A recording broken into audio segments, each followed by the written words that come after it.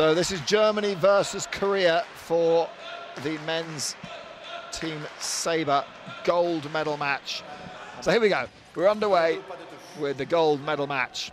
It's Germany on the right of your screens and Korea on the left. Just a little bit of a twitchy start from the Germans. And Korea with Jung getting things underway.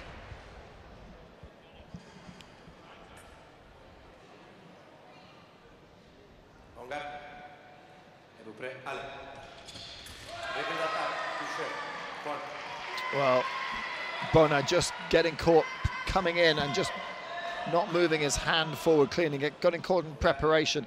If you're new to Sabre, this is a very fast and furious sport. Blink and you'll miss it. Watch the feet first. So when the referee calls allez or go, watch the feet, see who's moving forward. Because they'll move in, they'll move out. That time Bonah came through. Jung was able to parry the German's blade. Now, the whole of the upper body is the target. It's a cutting weapon, so you can score with the length of the blade as well as the point. And it's a weapon of convention. The referee needs to decide who had the right of way. So who was the attacking fencer? Who initiated the attack first? It doesn't matter who hits first. What matters is who started the attack first. And uh, we race through. Uh, the score 5-1. So target score of 5. The clock immaterial in Sabre. So 9-2 the score. Well, now who got that? Was that? I think that was simultaneous. So they both came in, both stopped, restarted at the same time. Couldn't separate them. So Oni's one more to reach the target score. Nothing given there.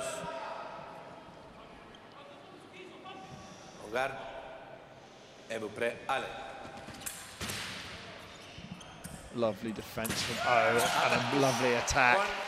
Oh, that's beautiful from the Korean. Well, the Germans, they're going to have to pick themselves up somehow.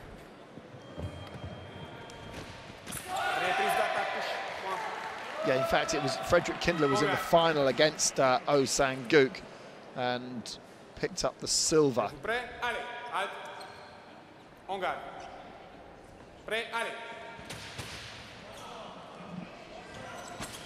And he's up against uh,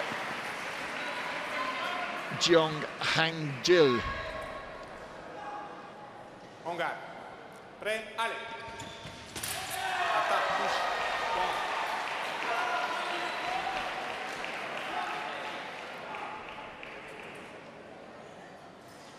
Ongar. Pre, ale.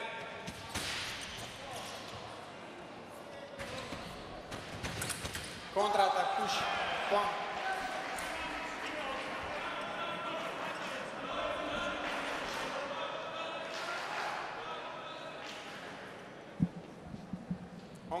A lovely counter-attack from the German there. Gets him up and running. And another hit to Germany. 13-4.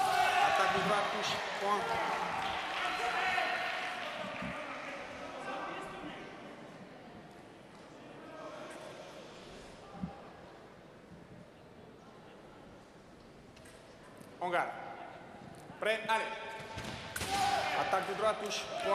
And Jeong just so fast. Kindler's asking for a video review. And we'll see if the referee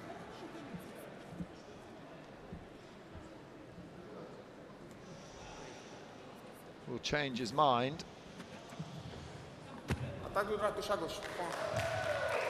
And nothing given. So 15-4 the score. Again, simultaneous. That time Chung backed away, parried the German and re picked up the right of way.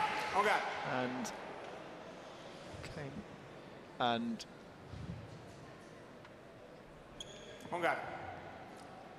Yeah, Korea is looking so good for the Koreans. That time, it was Kempf's attack. Jung was trying to hit on the counter.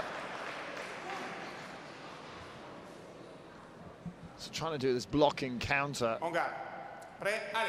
But you need to have single light on if that's going to work. Jung just a little quicker.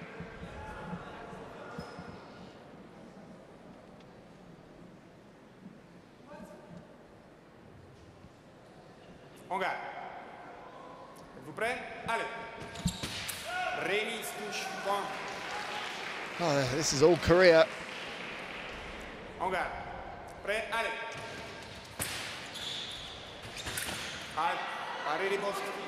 Beautiful power riposte there from Kempf.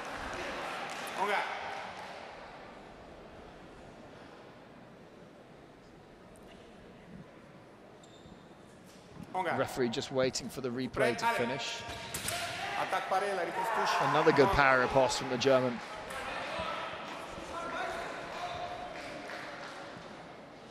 Kempf's done well here, scored five already. En garde. Another point for Germany. And they will have caught up some of the deficit. That was Kempf's attack. And Jung perhaps needs to go back to just stepping in with speed into the middle rather than taking it out. Had much more success. With those kind of movements. I think it's Kempf that's maybe changed his tactics and is anticipating that from Jung.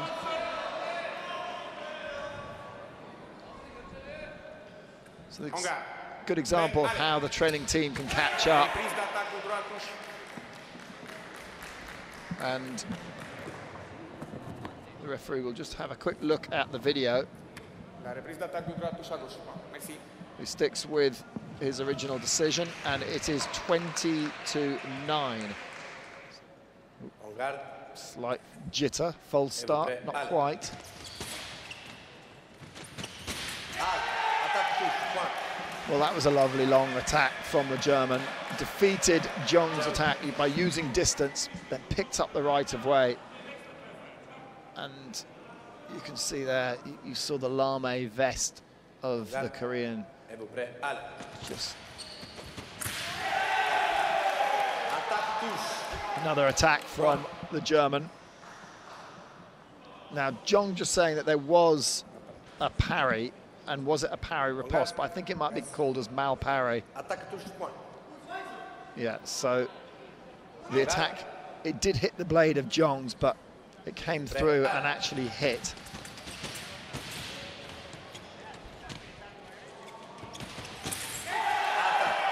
That's good from the German.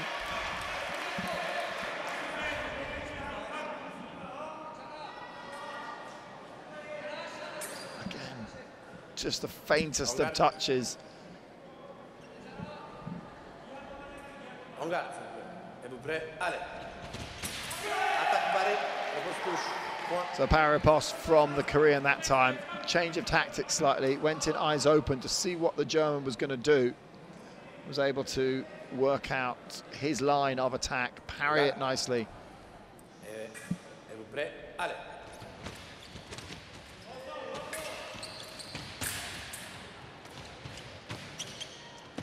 Now the German can build an attack. Attaque touche. Point.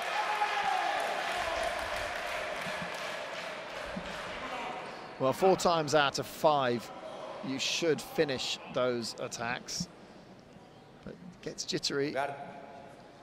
And if you watch Sang-gook, when he's being attacked like that, he goes right onto the back line and almost does the splits Recherche les blades. Répète attaque de gauche, touche point. just to put some doubt into the mind of your opponent.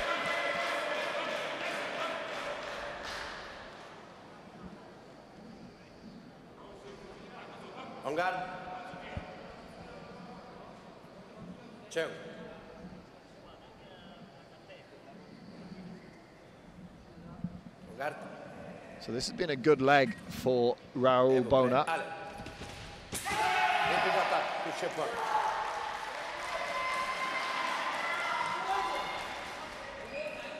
So they both came in, stopped, and then it was Jong that just started again a fraction of a second earlier. 24-16, the target 25. I think that one's going to go to the Korean, and it does. 25 25-16. So Germany clawing two back there.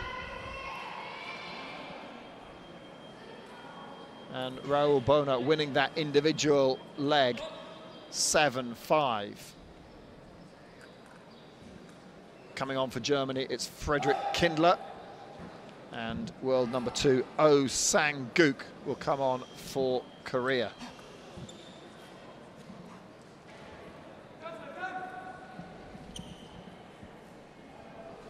Now, can the Germans keep the initiative? Can they keep things going? Regarde. Êtes-vous prêts Allez. Préparation, attaque de One.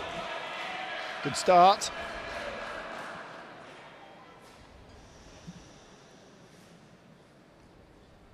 En garde. Êtes-vous prêts Allez. Attaque. Touche. One. Oh, can sometimes take a little while to get the measure of his opponents. En garde. Êtes-vous prêts Allez. Attaque. Touche. Merci. One. Well, Kindler acknowledges uh, Dan Kostaki, Garde. Êtes-vous prêts Allez. Halte. his coach there in the German box. prêts Allez. Ah, contre-attaque paré pour touche. One. So the counter-attack from Kindler was parried by O. En garde. Point to the Korean, Êtes-vous 30 the target. Attaque. Touche. One. Oh, just quicker in the middle there.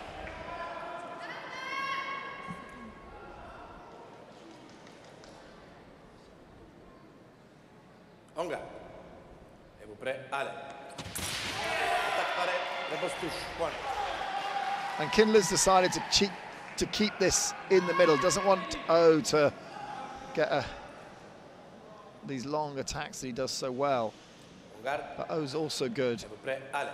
well, anywhere on the piece, really. O stepping away.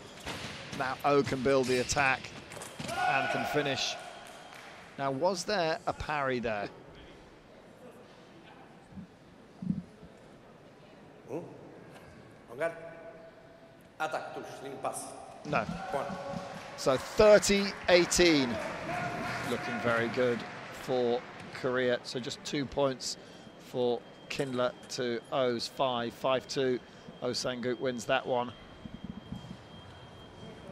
And we're into the final third.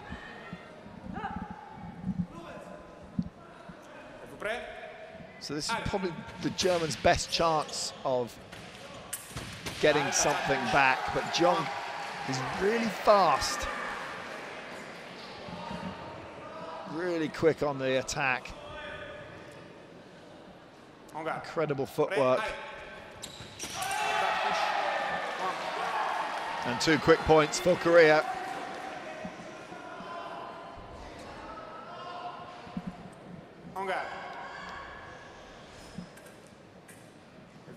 Allez.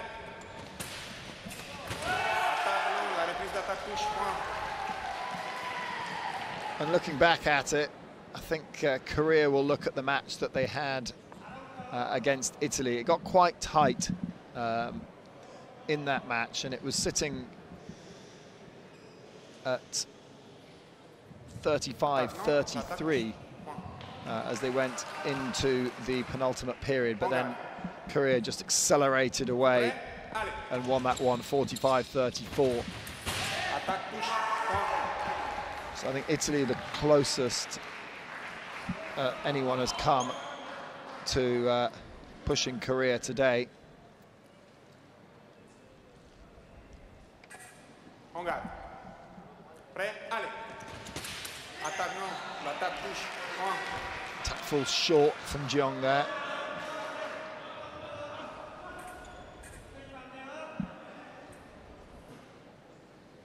En garde. Prêt Allez. Attaque touche.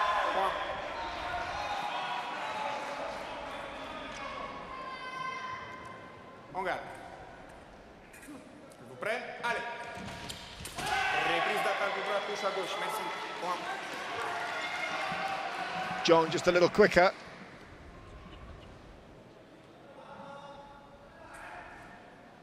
On garde. Prêt, allez.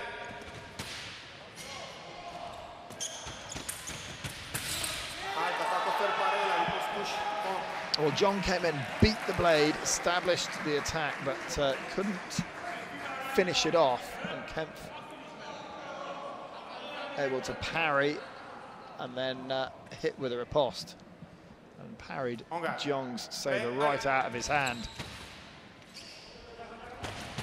Halte, attaque, touche. Jong fast there though. And 35-22 the score. So Korea win that one again 5-4.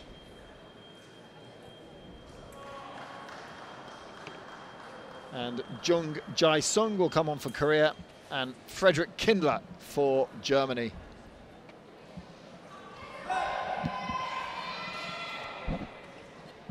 It's looking very comfortable for Korea, you've got to say. And when you've got the world team champion Oh Sang-guk coming on as your anchor, you can feel very confident indeed. Touche. Point.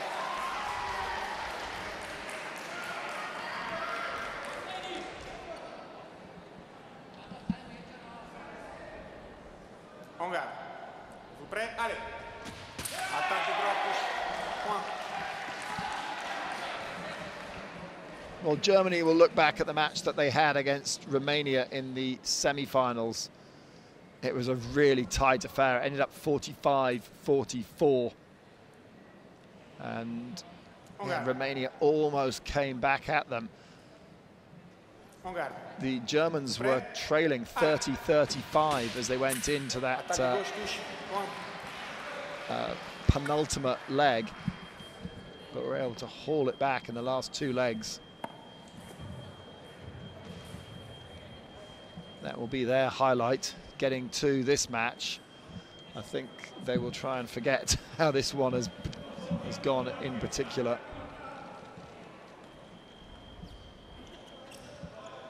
On garde. Êtes-vous prêt Allez. Well, Kindler just stopped there, tried, expected Jung to immediately attack, but he didn't. Jung came in, Pareil de gauche. stopped and then restarted again. And the Koreans, garde. Prêt Allez. not just athletically incredibly fast, but they're also making the right decisions. Decision-making process in sabre so important.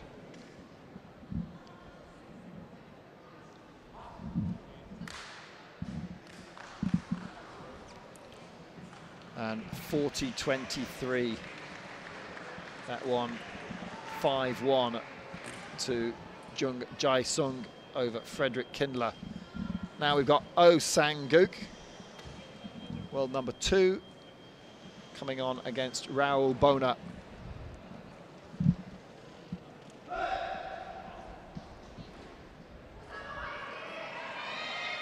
Well, is, uh, anything is possible in sabre, but I think that even the most ardent German supporters would say that uh, no matter how good Raoul Bonah can be, uh, he's not going to make up this deficit against uh, the world number two.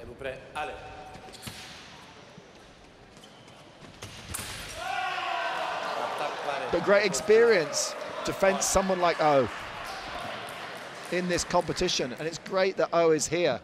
He's got the World Championship coming up in Budapest, which will start next week. Êtes-vous. And I think that Attaque touche. Point. O has really enjoyed his time here, being part of this Universiade. And O's never competed in Olympic Games as yet, and so he's looking at this as a multi-sport event that will give him the experience. Of going to an opening ceremony, of being part of that bigger team Êtes-vous prêts Allez. for Tokyo 2020. And he goes into Tokyo 2020 as, if not one of the favourites, then perhaps even the favourite. En garde. Êtes-vous prêts Allez. Attaque. Push. One. Oh, he's, he's too good. One point away now, and Korea will be confirmed as the gold medalists. Êtes-vous prêts Allez. Attaque. Oh, beautiful stop cut to finish. Oh, what a way. What a way to finish. Oh, Sanguk. It's not just been about Oh Sanguk. His teammates have played a really integral part as well. The whole team have done fantastically well today. So hats off to Jeong Han Gil, to Jun Jae Sung, to the reserve Choi Min Seo, and of course to Oh Sang-guk. And the Koreans are the gold medalists in the men's team saber competition. Well, it was a masterclass. And Korea, they've really reinvented saber. They've taken it, had a look at the discipline, had a look at the event, and just constructed it as their own. Korea are the winners of the men's team saber competition.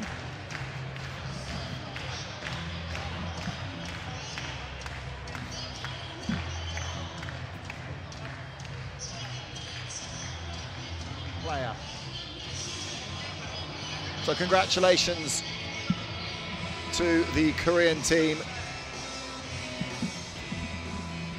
Their coach there, Kim Hyung-gyul. Congratulations to Kim. So confirmation, 45-24 is the men's team saber result.